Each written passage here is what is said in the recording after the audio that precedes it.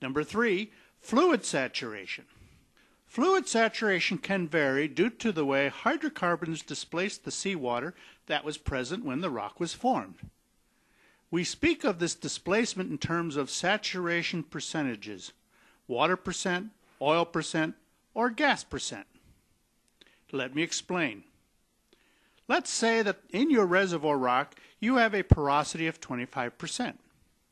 Within that 25%, you have a fluid.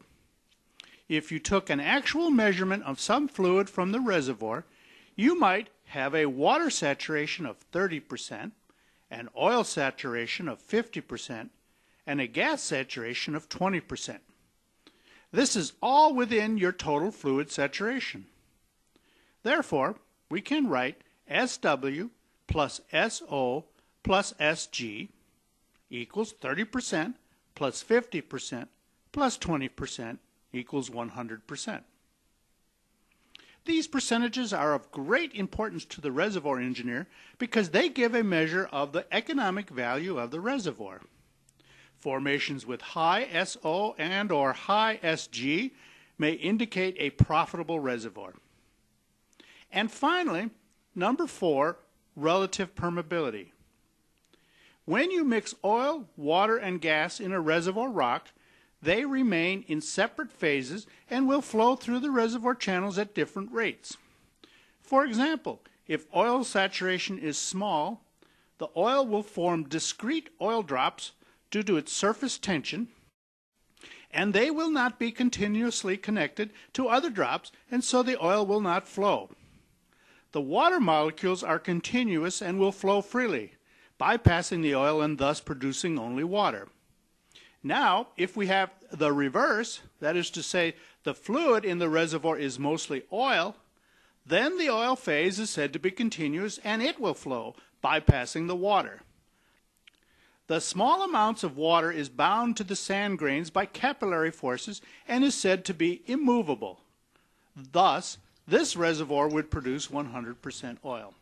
A general rule for many reservoirs is when SW is less than 25%, only oil will flow, and when SO is less than 25%, only water will flow. And both oil and water will flow when both SW and SO are greater than 25%.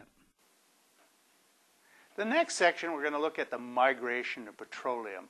Uh, migration is the movement of oil from its source rock or where it was created up in through uh, the reservoir rock and up, up until it gets trapped. A trap is a hard type of rock that stops the flow of oil upward.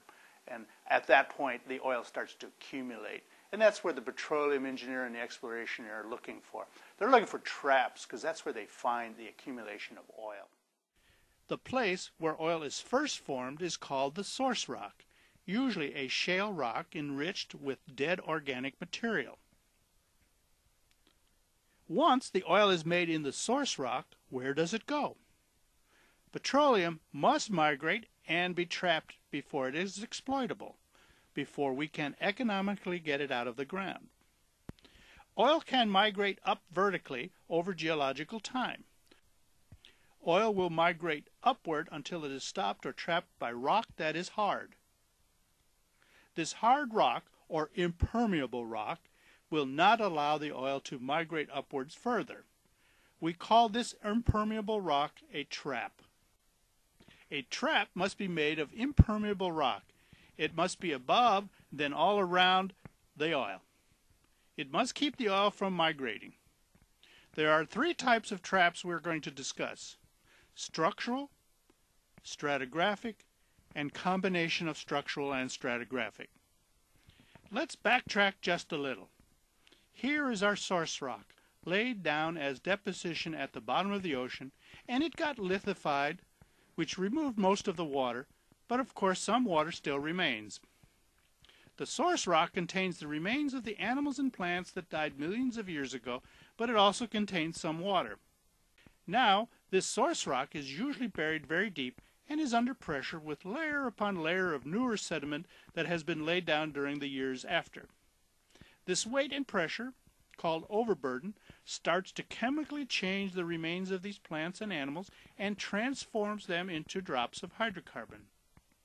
As these drops are formed, they begin to move upward out of the source rock into the water, which moves it further up. This is called vertical migration. Here is the reenactment. You can see how drops of oil form and then push upward, caused by buoyancy pressure or density differences between oil and water.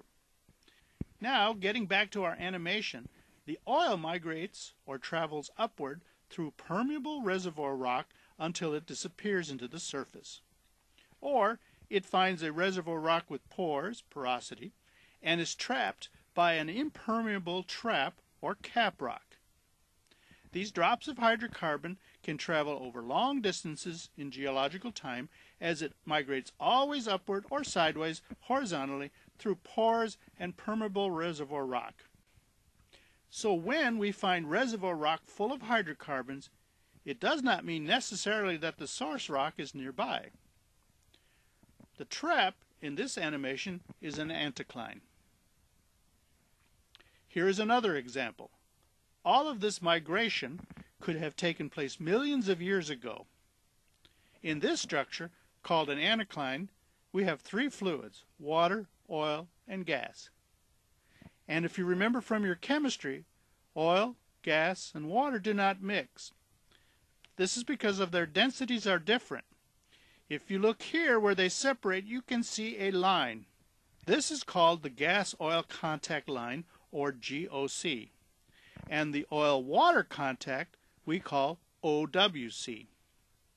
These lines are important for the petroleum engineer when he makes his analysis because they will determine how well the oil will flow and also how to prevent or reduce water from flowing into the well. Another thing a trap must have is closure. There must be a complete closure to make sure the oil does not migrate around it. Here is an example of a partial trap. It looks like an anticline, but it has no closure. The hydrocarbon drops can easily migrate out the back and are lost. The best traps are shaped like a bowl that keeps the hydrocarbons trapped inside. There are three types of traps. Here we will talk about the most common ones, the structural, the stratigraphic, and the combination of structural and stratigraphic. Structural traps are caused by deformation. Something big, like an earthquake or moving plates, have changed the rocks. Stratigraphic traps are caused by irregularities in the deposition of the layers when they were laid down. Combination traps commonly known as angular unconformity traps, are composed of rock formations created from both deformation and deposition. In structural fault traps, the formation of the rock has changed. You can see where the original reservoir rock was, but the earthquake tilted the formation, creating a trap. Later, oil and gas migrated into this space and was trapped there. Here is another type. Let me tell you how it was formed first. Salt is an evaporate that is formed when the ocean water covering it dries up. This exposed salt, in time, then gets buried by other particles. As it gets pushed down and squeezed, this salt becomes hot and molten. Sometimes this molten salt pushes up and breaks the formation above it, forming a salt dome. It is structural because it pushed up and broke the formation. Some of the broken rocks are reservoir rocks, and the migration of oil will find these traps. Salt is impermeable. Whenever we find salt domes, we look for oil around them because they are excellent traps for oil.